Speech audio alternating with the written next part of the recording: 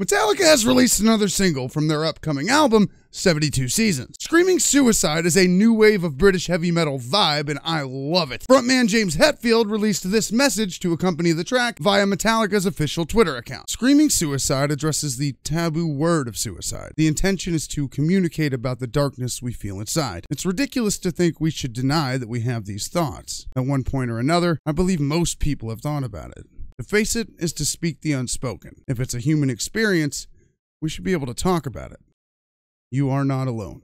A heavy message meant to rally anyone who hears it to keep pushing forward. If you or someone you know is struggling, just know that you are not alone and that you are valued. We all walk a dark path so that we can learn to appreciate the light. Take care of yourselves, kids.